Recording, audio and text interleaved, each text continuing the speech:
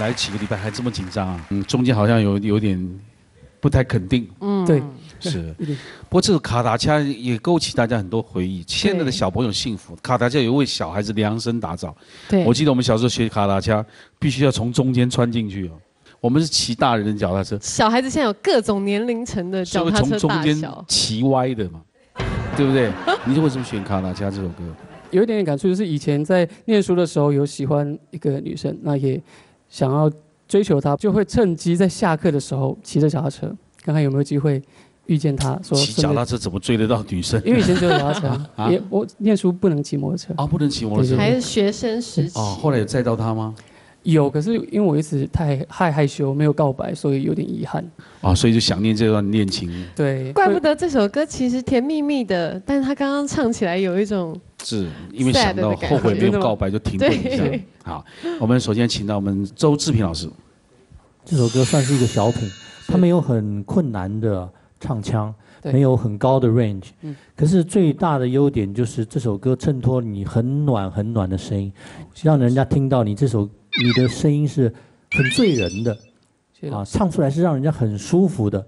那当然，在比赛的时候唱这种比较没有难度的歌，它可能分数不见得会太高。可是呢，老实说，他打动了我。哦，谢啊，我给你还蛮高的分数。要不是你中间好像睡着了，还是 在想别的事情，还是在思考人生。又又又想到又想到当时没告白，想到那个女生。这一点是很重要的哈。唱歌就唱歌，不要唱到一半思考人生。啊，好，谢谢。很好，这首歌哈，老师好。呃，你把它当成一个很舒服的小品唱，那可是呢，这首歌其实不是小品，这首歌其实是一首很蛮大的歌。我听过这个作曲者曹轩宾，啊，他也是一个很好的歌手。我听他在现场唱过大概七八次这种这首歌，每一次他唱到第二遍的时候，都是那个重口味就出来了。他会，他他需要这首歌在现场把他把人家唱到流泪，让听的人为听到了这首歌会有想哭的感觉，所以他后面放的非常开。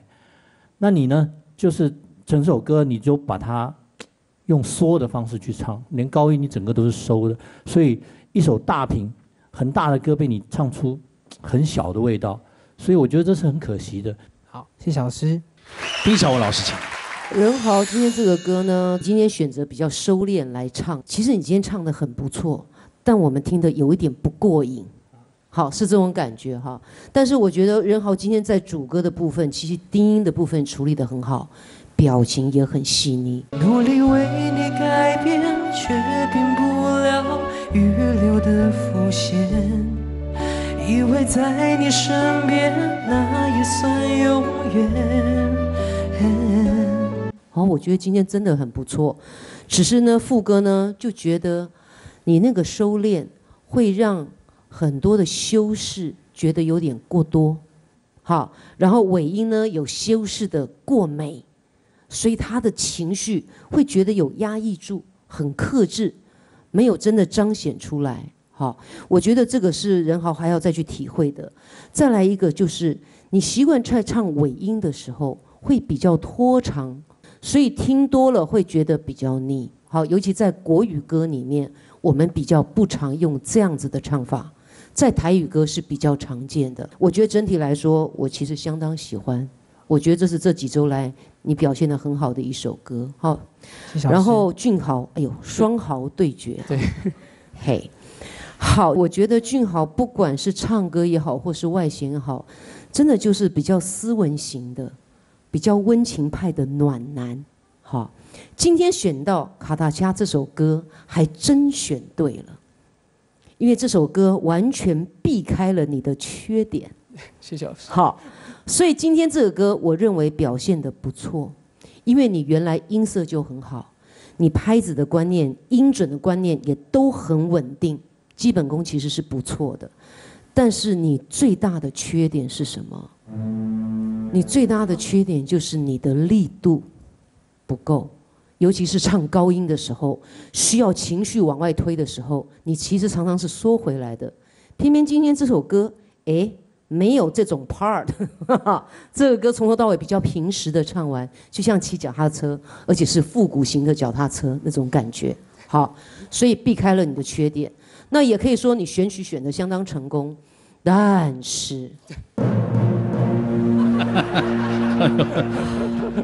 非常好，你要注意，这是续航力的问题好，啊。这样子的歌不是太多哦。明白。所以碰到了别的歌，只要主歌、副歌的层次拉大的时候，你的缺点就跑出来了。好，谢谢老师。接下来我们来看陈仁豪这首歌能获得几分呢？评审请给分。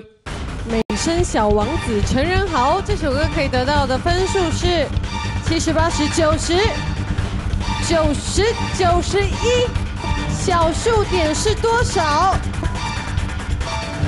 恭喜得到九十一点二分。接下来我们看徐俊豪能获得几分呢？评审请给分。